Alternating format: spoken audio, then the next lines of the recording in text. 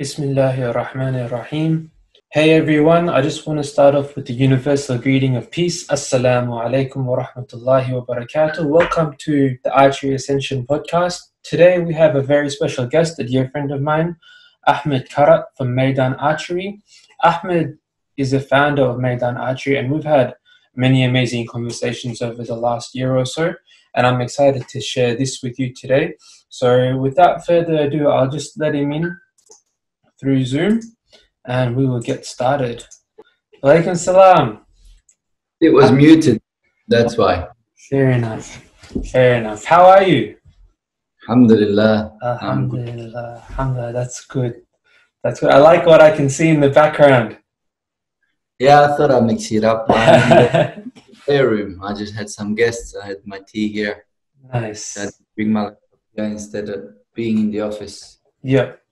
Alhamdulillah. Um, we did, I just did I did a recording with um, a brother in Jordan, um, and he, and he practices jujitsu and and tai. I think a form of tai chi, and Mm. um, he came down to the archery range when he was visiting Australia in January.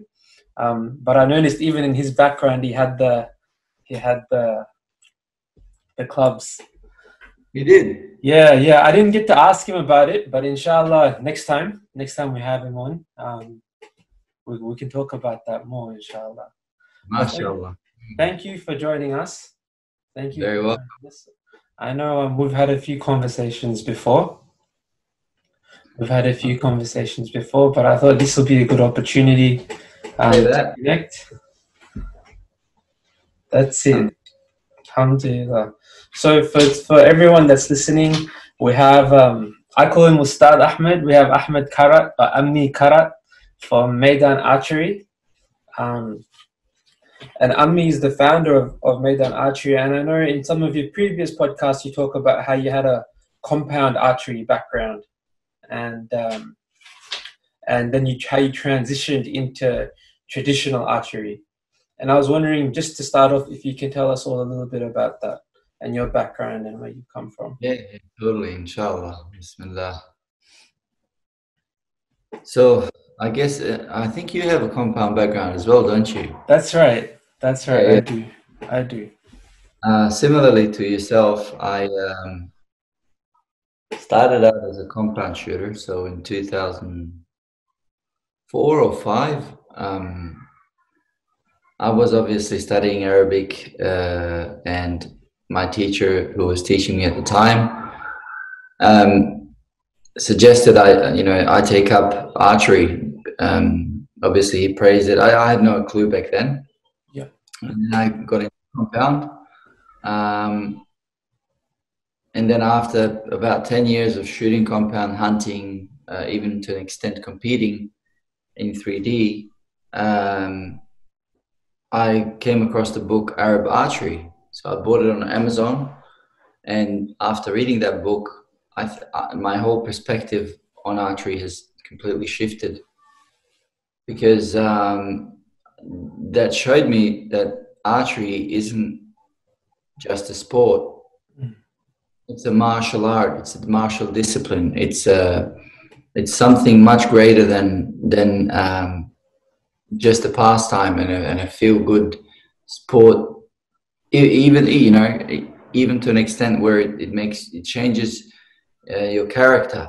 So the way that when I read that book, I, I, I saw things in it that just uh, resonated with me deeply because in that book, spoken, you know, the author mentioned about madahib in archery. He mentioned things like arkan, Mm. you know, things that only a scholarly person of his time would uh, quickly realized that this guy was not a simple person. He wasn't. He wasn't just a guy writing about. You know, he wasn't just a seasoned soldier. He was actually somebody really well educated. Yeah. The way that he formed his thoughts and, and everything in that book really inspired me to inquire further, which I did. Um, and I ended up studying uh, in Turkey, and then consequently, uh, my the the change in me happened in Turkey when I went to see Murat Ozveri and Okçular Vakfi, and th- those those were turning points for me because that's when I realized this is so much more. When I came back, because because of my compound background, I helped a lot of people into archery just as a mate, you know, just mm. as a guy who's was a bloke who knows how to shoot compound, how to put them apart, put them back together, um, helping brothers out to get into you know compound and shooting and hunting. Uh, when I got back, that same following naturally kind of followed me in with my journey, kind of. Yeah. All the boys, all the brothers, and the families, or your friends that were with you, um, in the compound when you're just compound shooting, hunting, going out on the farm. When you started taking it more seriously and you went on your journey. Exactly. So they kind of followed almost, you know, like it's a little bit like a tribe, you know, when when Rasulullah sallallahu alaihi wasallam would, uh, you know, and when when a leader would embrace Islam, then the followers would embrace, you know, straight away. Like yeah, that's how it works.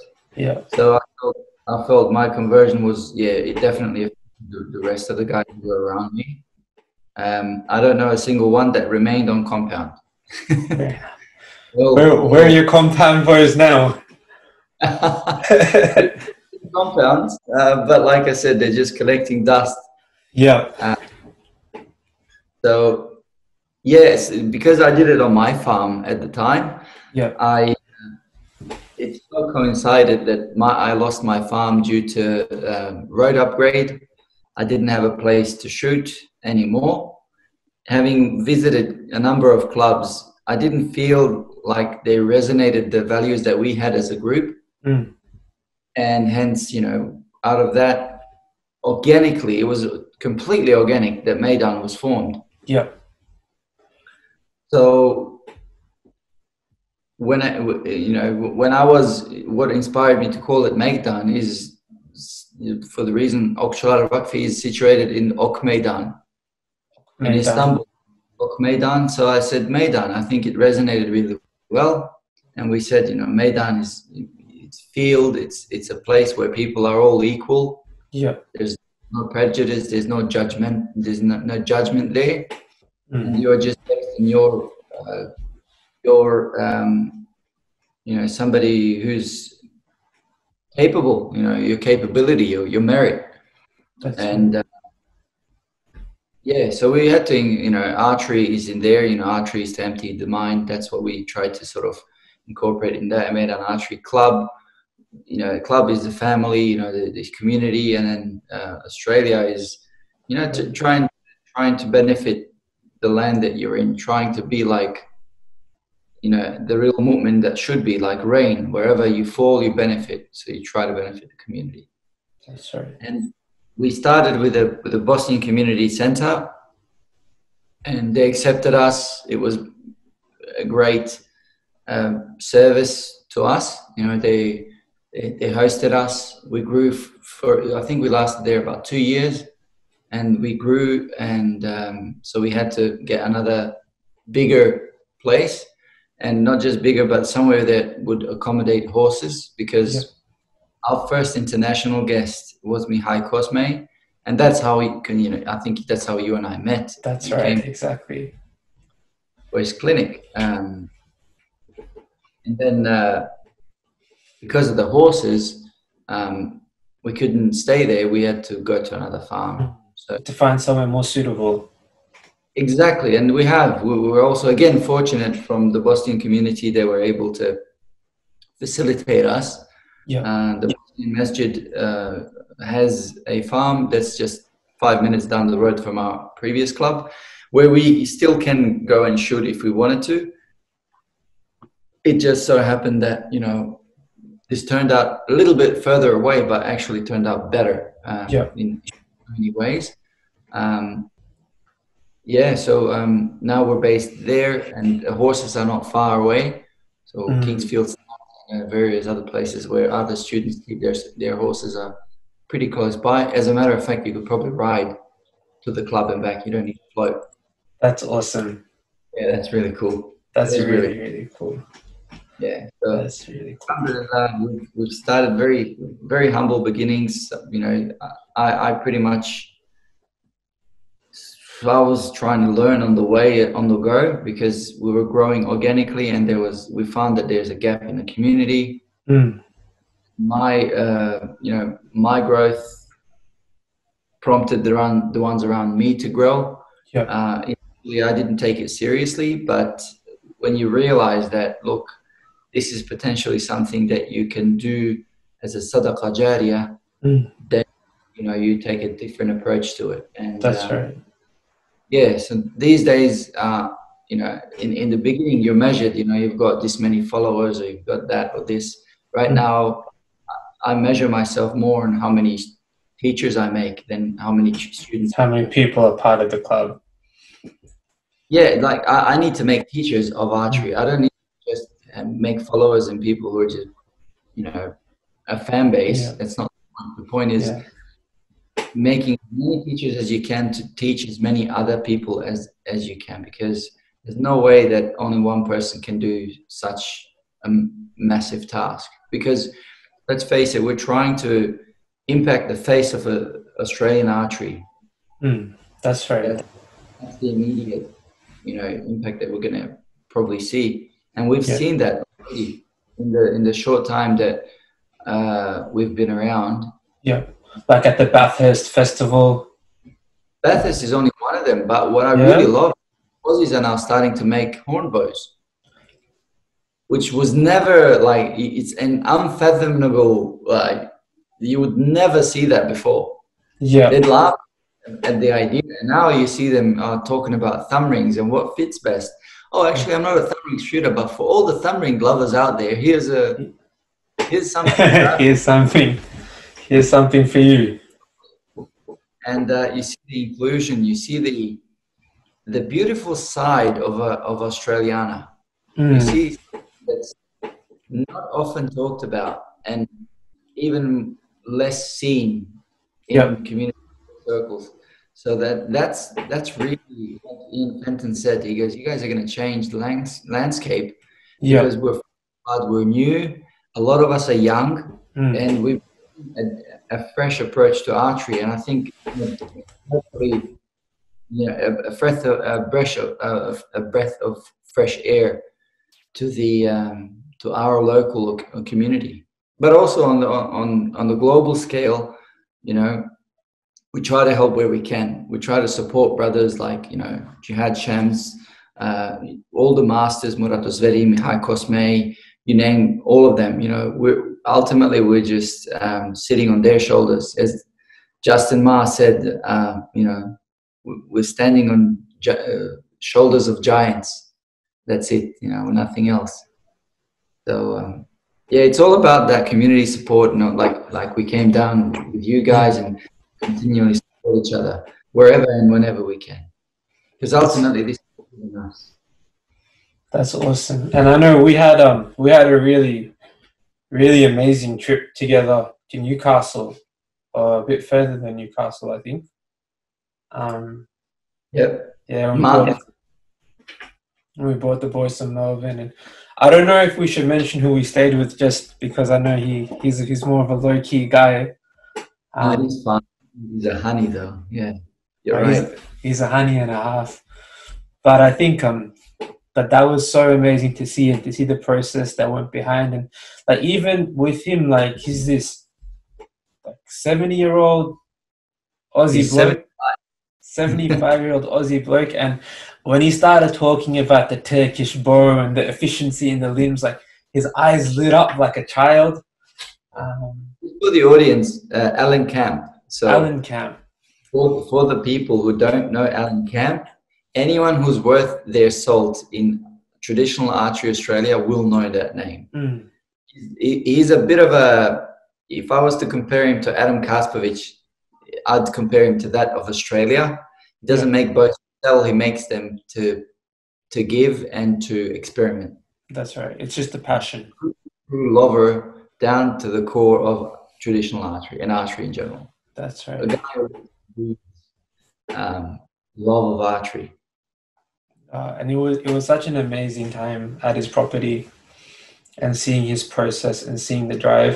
And I think um, we're going to get the boys on on here to talk about it because I think, um, especially Isam, he took away a lot.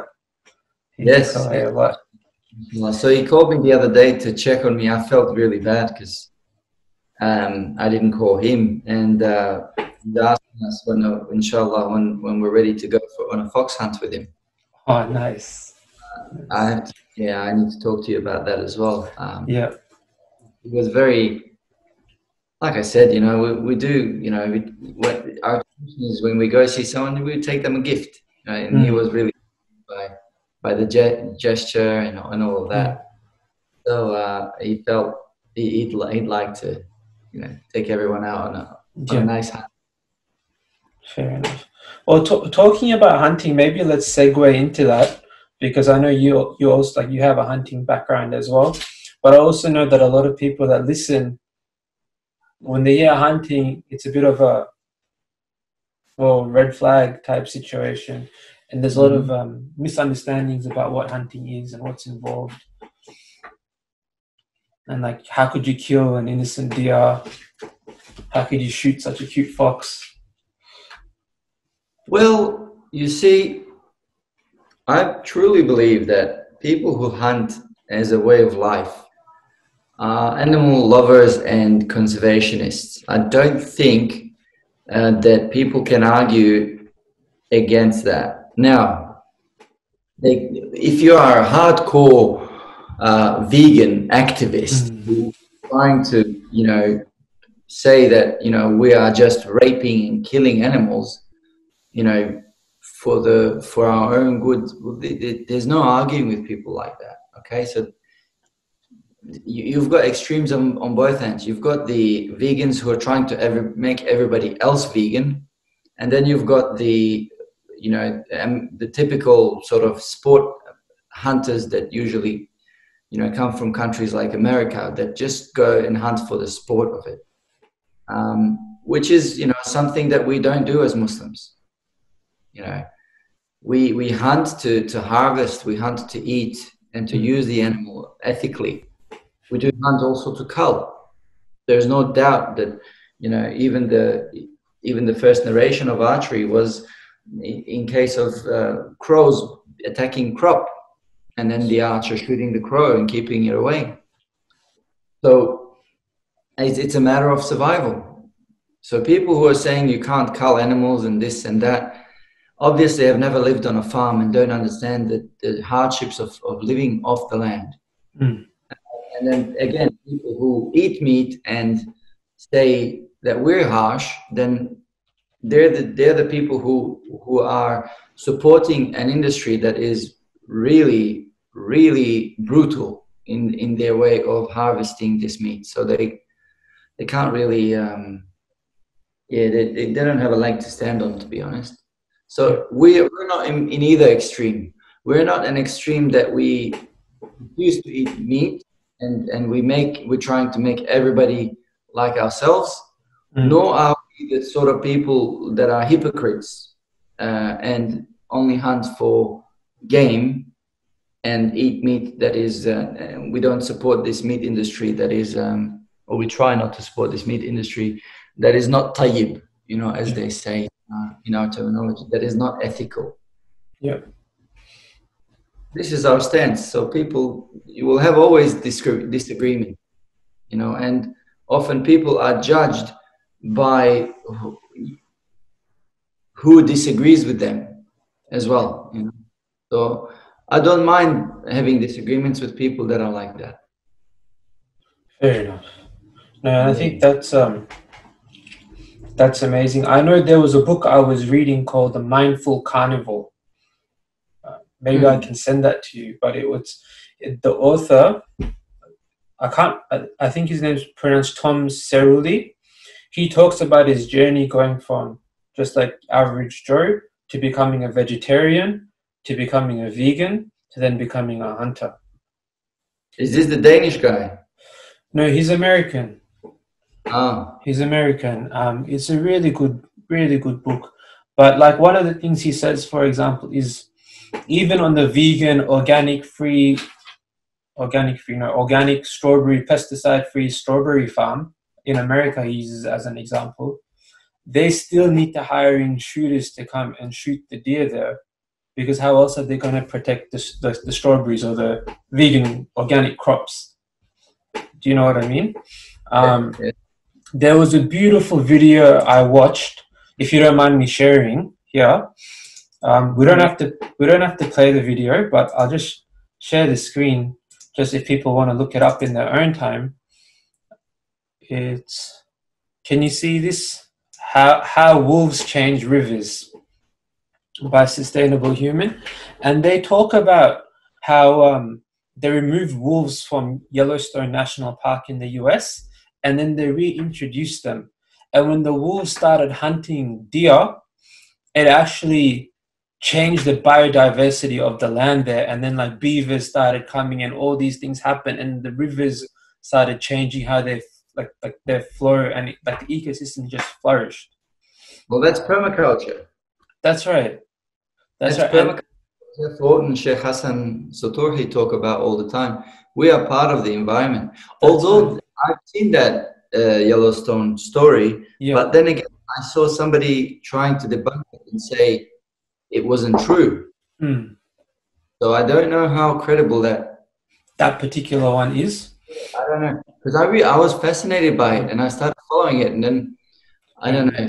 So online I guess like being in Australia, we're seeing the same impact, but but more in a negative sense, like with the feral animals. Do you know what I mean? Talk about cats or pigs. Oh my god. Cats, pigs, foxes, right? Because Australia has um, the highest, like, or the most unique biodiversity anywhere in the world. And with the introduction of these species and with them running free, like, we lose out. And it reminds me of um, Surah Al Rahman, when Allah talks about the whole world was set into balance, right? And part of our job as humans is to maintain and look after that balance, right? And like every Aboriginal society, like you can't say they don't love animals like any native society. But you see, like from Australia to the Americas to Africa to Asia, that all these people have hunting ingrained in their culture. Because, like you said, it's not about the sport, there's a deep spirituality behind it. Right. Correct. I think um, this, the very same people whose ancestors bought the very pests that are here are coming in and lecturing people again um, I think just they need to lay off a little bit and uh, yeah, just lay off and look in, inwardly a little bit because world. I, I think if anything, we need to go back to nature and not try and reinvent the wheel. Mm. I, I, and I, the the biggest key to everything I think is greed and hunger. I think that the human beings have become so greedy and so hungry and that, and because of that fundamentally we've we've changed our environment around us just like if we were to become less greedy and we were to follow the scholars of old that our environment would change to the better mm. so everything boils down to um, the the sickness of of the nefs and the heart. And if that's fixed and that's addressed i think the environment would follow because humans would, would change and their consumerism wouldn't be as vast and, and, and as as great. And they would actually care.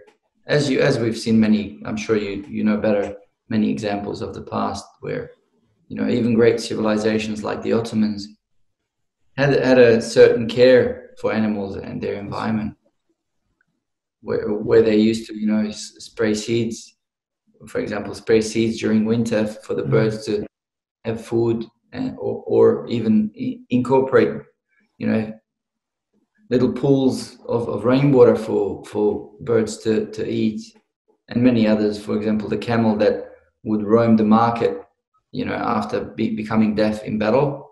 Yeah. She would roam the market. The camel would roam the market and eat the fruit as they like. The sultan would pay uh, for all damages, where no, nobody could that camel because it was it was given the title of Ghazi you know. So um, yeah, they, they had a profound and an, innate love for animals. Yet they you know they they use those very animals and they ate from them but they never I, I don't think the key here is that they weren't as wasteful as we are today That's right. And I guess part of that is because they understood the process and they appreciated that like where the animal has come from and where it's going. yes yeah well if you believe in in a in a in a greater purpose i think that it sets you up in a positive way That's right. but then you don't believe in anything and you think you're in this world to just eat and sleep and reproduce. Mm, well you know you know you will see the effects like we're seeing today that where people don't think about their future generations. They don't have an outlook. They, all they care about is the immediate self-gratifying pleasures and and they don't care about any ramifications because they believe that once they die there's nothing after that which is a very dangerous belief system for both environment um, and and people Yeah. wow. That's amazing. I was just Subhanallah. It's true. And it's it's amazing how our conversation of archery has come this way. Yeah, well, uh, yeah, true. A lot of people are talking about these issues. These are, Yeah. these are, you know, relevant and, and current issues that a lot of people are facing right now. Yeah.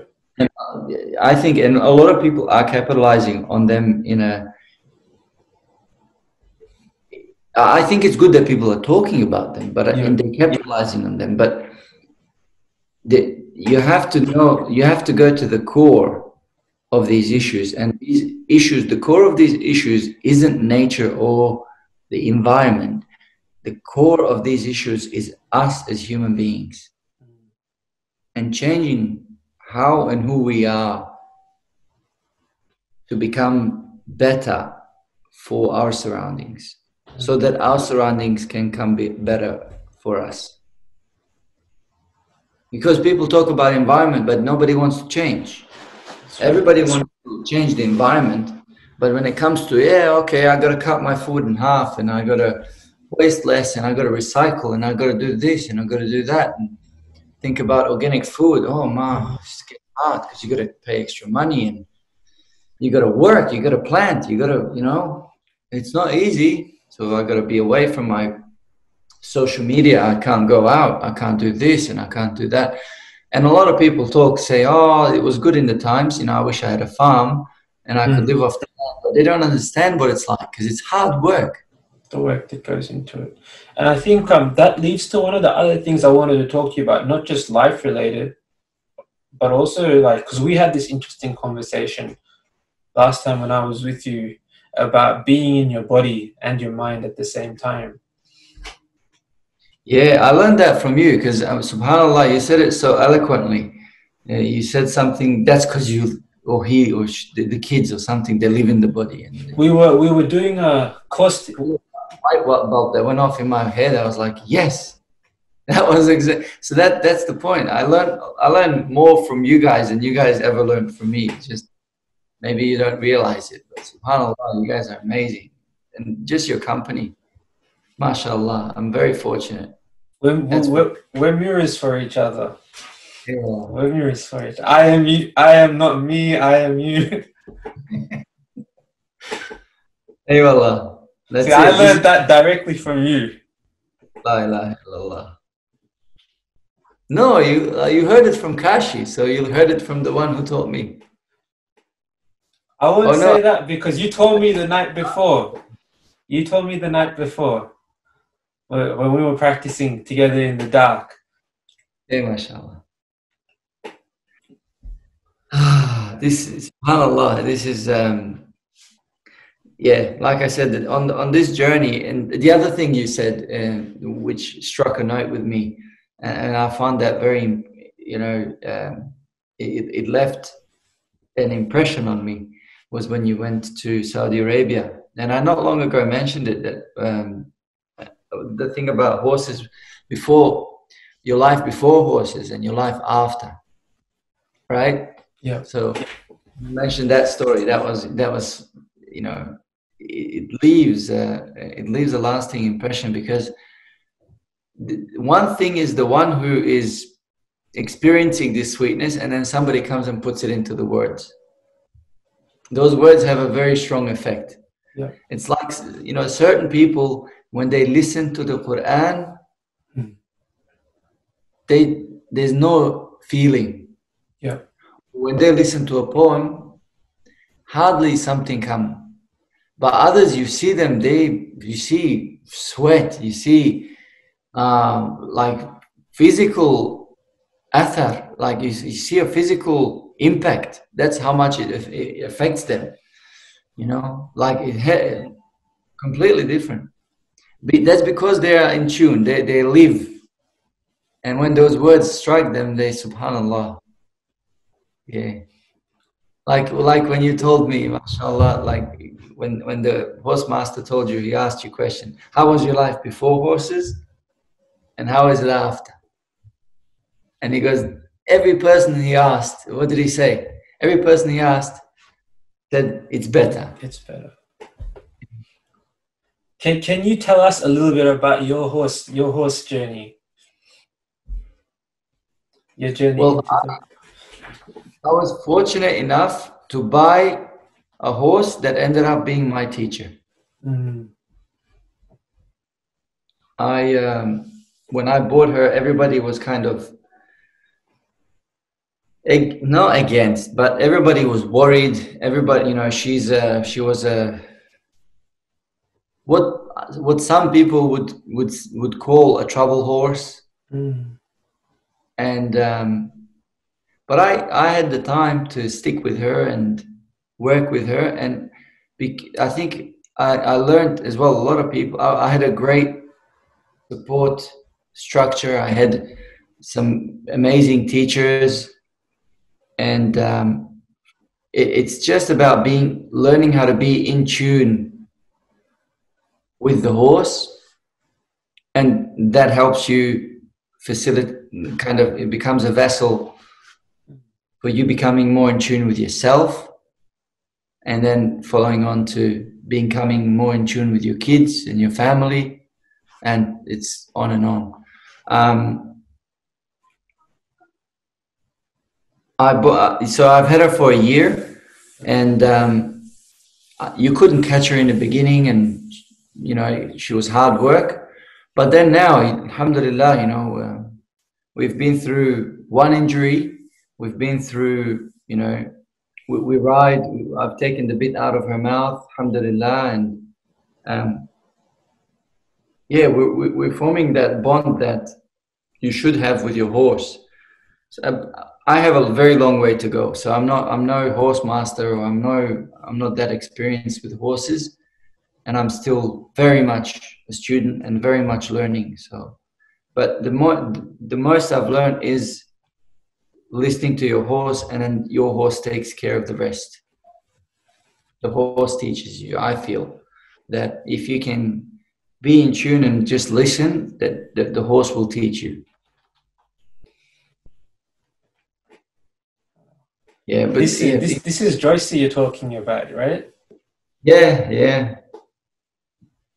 Alhamdulillah. She's uh we yeah, so we, it's yeah, it's been an interesting journey. Because everybody was saying you won't be able to shoot an arrow from her Yep. within the next three years. Man, And we we managed to do it in less than six months. that's amazing. And we're talking about a, a novice. I'm I'm a complete noob and, and a novice and you know a layman when it comes to horses. I was just I'm trying to find that photo, that beautiful photo of you and Joycey. Um, Oh, the yeah, with with that one, I just want to share it with people so they can actually see. Um, maybe what I'll do is I'll I'll share it. We'll edit this and I will put it up here so people can see what we're talking about. yes, We'll, inshallah. So uh, yeah, alhamdulillah. It's, it's it's been a great, uh, you know, very humbling and very. It's been a great journey.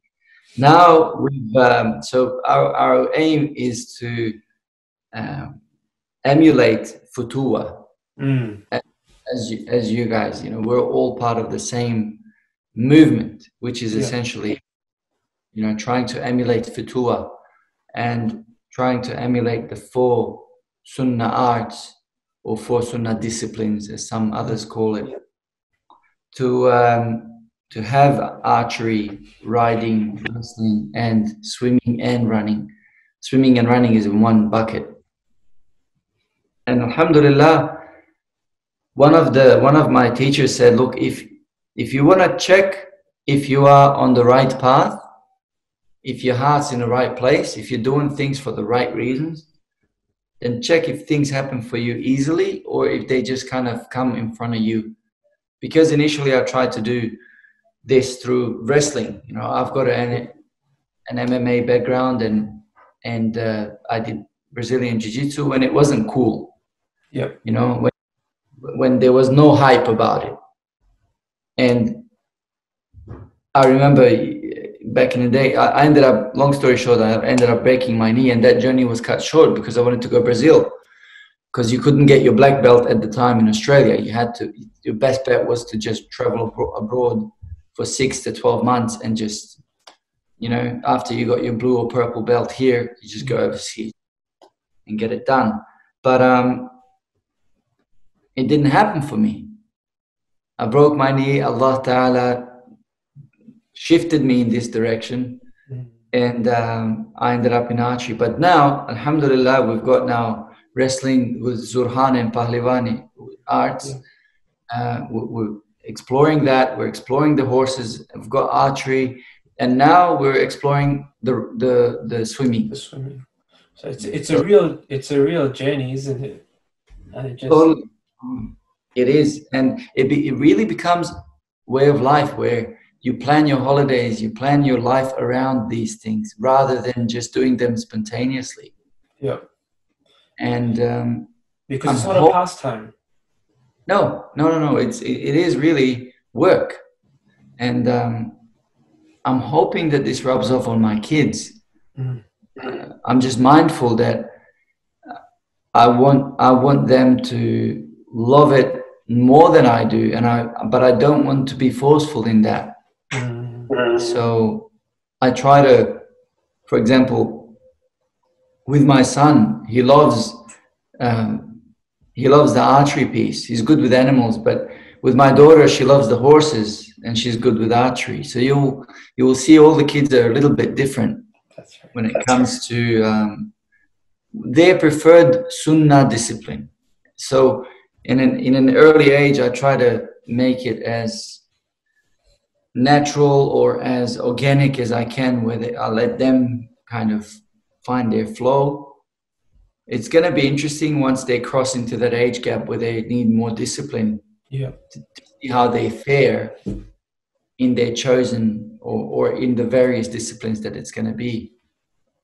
Because essentially, my kids will be dummies or kind of guinea pigs Yeah. for the for the kids that are coming now. That's We've got right. kids born into the club, born into this. You know, That's right. Alhamdulillah, Alhamdulillah. mashallah, had a daughter, and uh, pure blood. Both mother and are, are archers now. You know, and part of attention and part of, uh, and even you know, in Melbourne, essentially Sydney Maydaan. You know, you part of our family and we're part of yours. But um, yeah, it's going to be interesting to see how they flourish and blossom. And We might end up having inter-club marriages, and then Yeah. the, the bride and groom come in on the horses. hey, wallah, hey, wallah. Oh, I lo- Arcs for them with the bows, and they can go that's it. nice, Um. Like that comic, like that comic strip that um Arman. That was amazing. he found it. I was I was amazed. Mashallah. it's his background. He kn- he knows. Yeah. Ah, Um, subhanallah. Subhanallah. He's a, like I said, you have a very solid and very nice group of people. And inshallah, this continues to what you do is the right thing to do, and this continues to be a magnet for for good people. Mean, inshallah, and for good deeds, of course, and accepting from our Rabb. I mean, oh, that's amazing. I was just, I was just reflecting when you're talking about your children because one of the things I know the ulama of Furusiya or the ulama, just classic ulama used to say about horsemanship is that if you know how to rear a horse, you know how to raise a child. Yeah. Um, and it was just interesting because like my background is mental health and youth mental health specifically. Mm. And my journey into horses, like the way the top horsemen and horsewomen work with horses, is very similar to how we as therapists are trained to engage young people. Right? Yes. But just more on that, because I know another thing, I'm not too familiar with this, but another thing that we spoke about was the temperaments. Um, I was wondering if you could tell us a little bit about that and how you might notice with your children, even the temperaments and the affinity to the different disciplines or arts. You know what we? It's funny you mentioned it. Is like before I said, sometimes there's people who who think about these things. Yeah. Somebody comes and says something that just to the normal people in the in the room, they would think, why is he, you know, going off his head when he hears this person? But they just don't know what's going on because of the longing and the and the suffering and the sweetness at the same time that we're experiencing in this journey because we didn't have teachers Omar. Mm. like we have but we you you literally have to pieces of the puzzle and you have to find it's it's really frustrating and when somebody comes and gives you a puzzle and says it, it belongs here you're like yes Yes. So Yeah. classic one was the, the number four you know Mm. I always wanted to know why is the number four so important? You know, obviously, you know, as Muslims, as as people, you've got the four seasons. As Muslims, we've got the four madhabs. Mm. As um, as business people, we've got the four quarters. Um, Yeah. Number four is significant all around us, and um, in everywhere we go. In Zurhana, everything is to, done to the four count. In, in archery, it's natural four count again. You know, your heart is four chambers. Mm.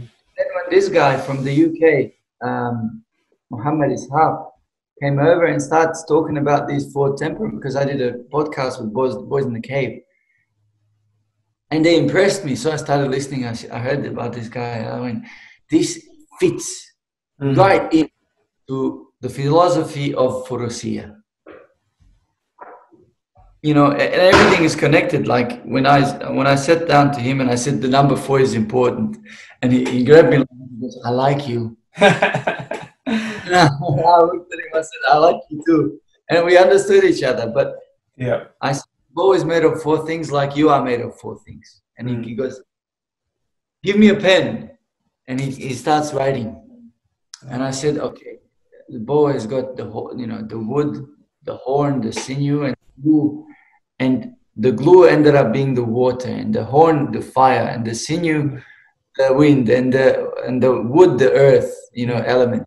You know, he realized, and also at the same time in archery, we encounter similar things like the the four uh, Khulafa Rashidun. You know, when you talk about them, they're also the all the different elements and the temperaments, and then how when you in archery when you're making a bow, you should resemble the traits of Imam uh, Imam Ali radiallahu anhu, and when you're making an arrow, you should re- resemble the traits of Imam Umar. And I think when I met Islam, I mentioned, you know, you you're gonna be arrow maker, and Yeah. he clicked in on it. Like if you look at um, Sammy, you know, he's got holistic knowledge. Mashallah, the guy when he looks at something, he looks at from from a whole thing. He doesn't Yeah. just go into one one area. So like Imam Ali, and all the different temperaments. So when you are when you're talking about the number four, when I spoke to brother is, uh, is, is, uh, Muhammad Ishaq about the four temperaments, everything just fit. And then we went into the Sunnah arts. Of course, there's four. Because there's archery, s- ri- riding, swimming, uh, archery, riding, wrestling, and then swimming and running. I, I thought it was five, but swimming and running is one. It's not Mhm. two. Why? Because In Arabia, in the Sahara, you don't have water to swim, so you run. Correct? But if you have somewhere on the coast or you have rivers, you swim. You swim. So it's it's what's available. Yeah. Our deen is easy, um, and they they require the same skill sets, and they all they all focus on breathing. They all focus on letting go, and and uh, relaxation. You know, slowing things down. Alhamdulillah. So everything fit in, and when Muhammad Ishaq came, you know, it was such an honor and, and a blessing that I was able to um, learn from him. So all, people all around you, you're learning all the time. But you just have to listen. You just have to be in tune. And I think going back to that, your horse teaches you that to be observant. And notice. Yeah. Yeah. Do you ever get this experience when you're with your horses, just like the time goes? All the time. I just missed my futur today. I missed my futur. But you know what? I had my daughter with me, and, but it's okay. It's okay. A couple minutes happens. Um, but all the time. Horses have a way with, with, with slowing things down, and then you just time, you, you lose it. That's right. But you know, the Prophet said, doesn't make you feel bad because the Prophet said, um, training your horse is never a waste of time. That's right. Subhanallah.